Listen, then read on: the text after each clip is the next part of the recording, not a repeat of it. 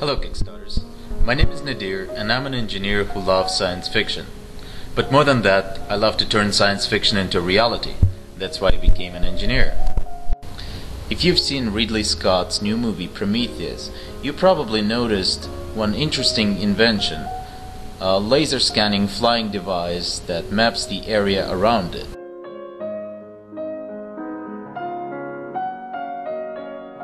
Now, I don't have a laser scanning ball like he does, but I'm almost finished with my flying vehicle.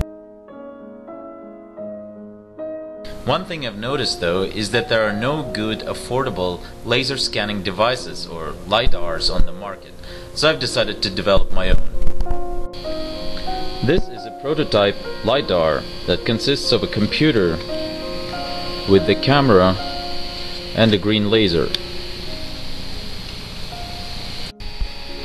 Whenever laser is aimed at any kind of a surface, you could see that all this distance is constantly being updated in the computer. The final version of the LiDAR will output XYZ coordinates of multiple points.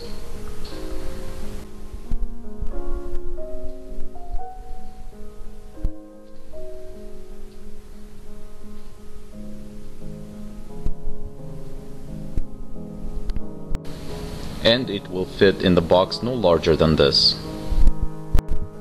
My ultimate goal is to have any person, any school, any university, any company to have an affordable LiDAR for their own robotics project. Fellow Kickstarters, let's turn science fiction into reality together.